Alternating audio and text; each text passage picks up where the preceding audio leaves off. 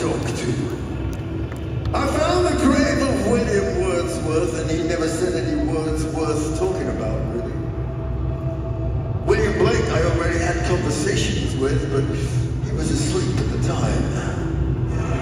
And sitting on a rock in the corner of the graveyard was a strange man with two horns, a tail, and glaring red eyes.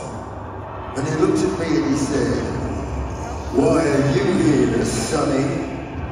And don't lie, because I'll know. And at that moment, because it was England, it started to rain on the grave.